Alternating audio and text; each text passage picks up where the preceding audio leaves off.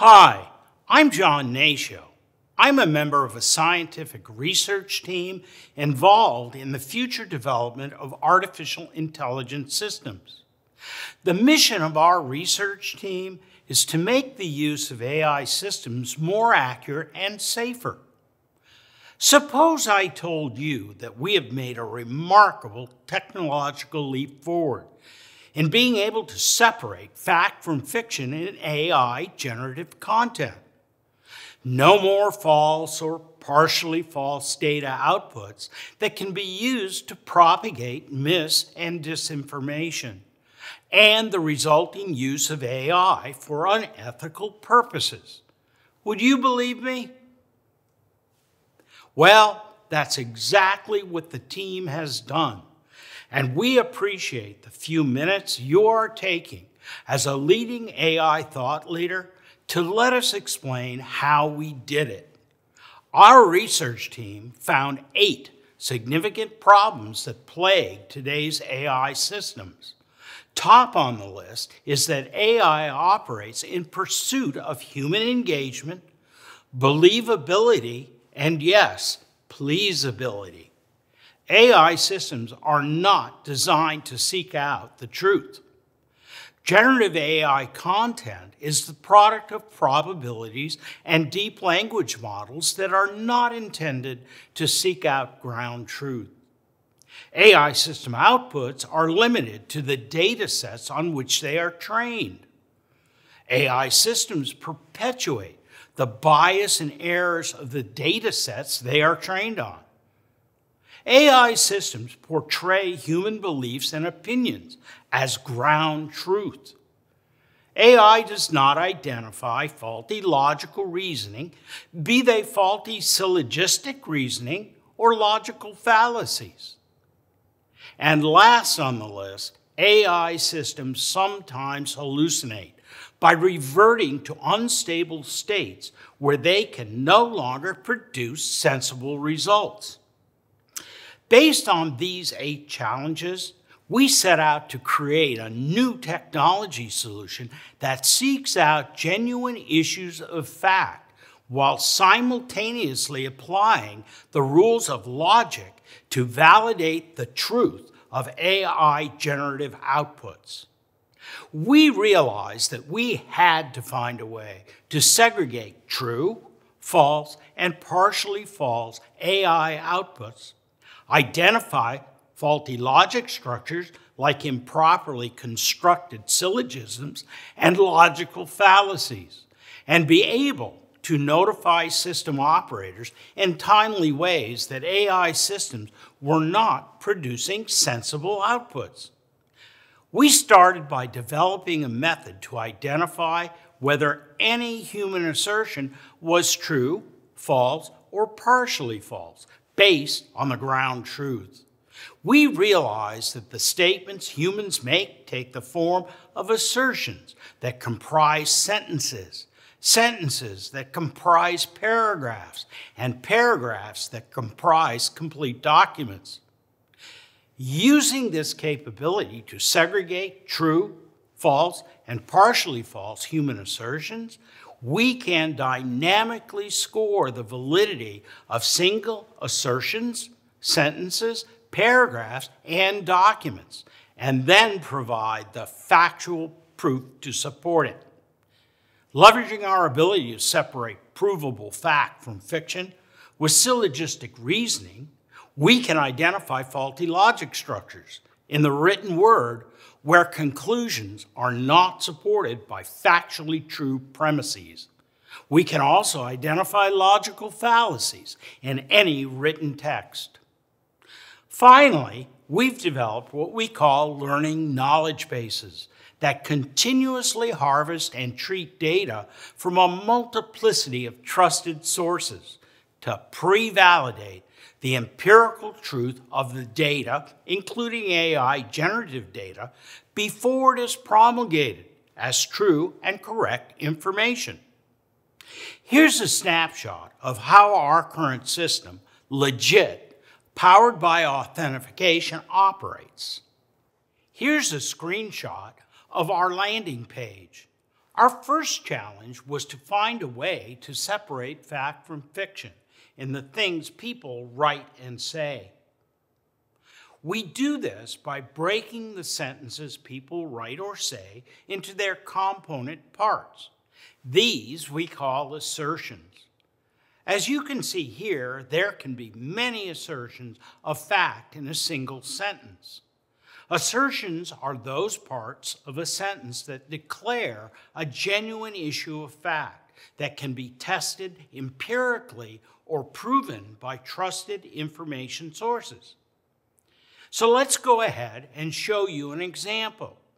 Let's type in the assertion the Civil War was fought to end slavery. The statement, the Civil war was fought to end slavery is a complex and multifaceted topic. While it is true that the abolition of slavery was a significant outcome of the Civil War, the motivations and goals of the war were not solely focused on ending slavery. Here, Legit seeks out ground truth gives us a true answer, and then provides credible sources to prove it. In the absence of credible evidence to prove something, the software will report that the assertion is not true. So let's go ahead and type in the assertion scientific evidence exists that ghosts are real. Here we see that no scientific evidence exists that ghosts are real. We can also see why ghosts are not real by looking at credible information sources brought back to the user. So let's move on to the next challenge probabilities and deep language models. Let's type in generative AI content is the product of probabilities and deep language models that are not intended to seek out ground truth. The answer comes back as true, citing many credible technical sources. But we have overcome the shortcomings of using probabilities and deep language models by leveraging the capability to segregate whether human assertions in sentences, paragraphs, or entire documents are valid or not. In this way, we dynamically score the validity of single assertions that comprise sentences, sentences that comprise paragraphs, and paragraphs that comprise documents to dynamically provide factual validity scores in real time. For each scored assertion, sentence, paragraph, and document, we provide empirical proof to support it our next major challenge was to deal with the human propensity to convey personal opinions and beliefs as ground truth, to convince others of this or, or that. To deal with this challenge, we inform users that their beliefs and opinions are not necessarily facts. Without credible supporting facts, assertions are not scored as true. But the capability of legit goes much, much further than this. To address the challenge that AI does not identify faulty logical reasoning, be it faulty syllogistic reasoning or logical fallacies, we've developed the means to identify them in any written content. We separate paragraphs into their major and minor premises and determine if they are true or not. If either the major or minor premise is untrue, the conclusion is untrue. If conclusions are not supported by true premises, they are flagged and reported as false and then scored accordingly.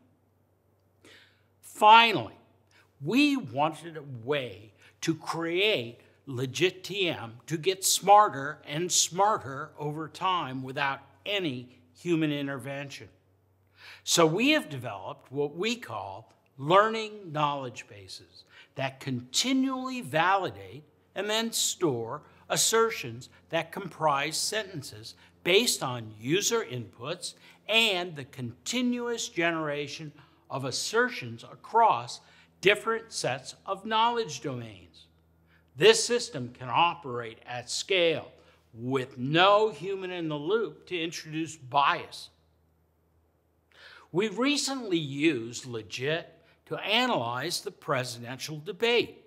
Turning to current President Joseph Biden, he made the assertion that we got to take a look at what I was left when I became president, what Mr. Trump left me. We had an economy that was in free fall. Authentification found that this assertion was very unlikely. President Biden did not inherit a U.S. economy from Donald Trump that was collapsing.